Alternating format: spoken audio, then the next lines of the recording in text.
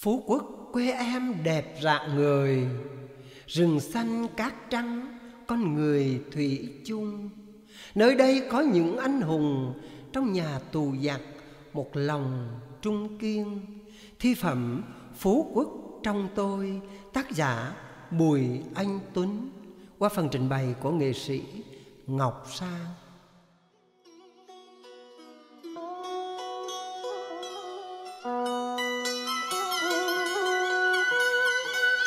Ờ,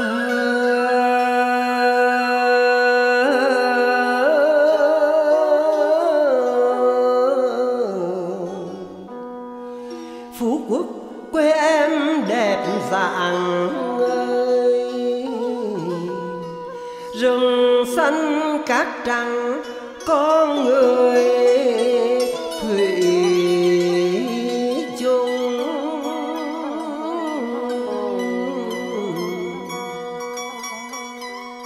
Phố Quốc quê em đẹp rạng rừng xanh cát trắng con người thủy chung.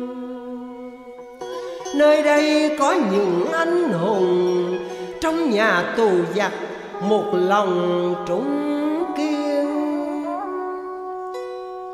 có có thôn nữ diệu hiên, ngày đêm bám biển, bám thuyền. Dặn câu,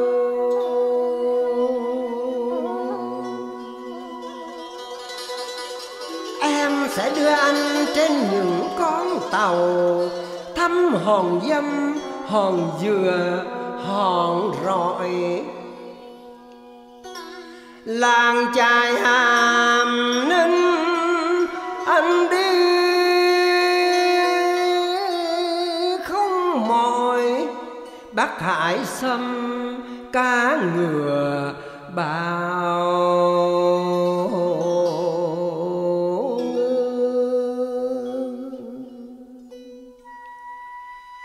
thư thái thả mình trong nước suối tranh. Làng nước xanh làm giá mát lành, uống rượu xiêm thấy hạnh phúc tràn. Trề.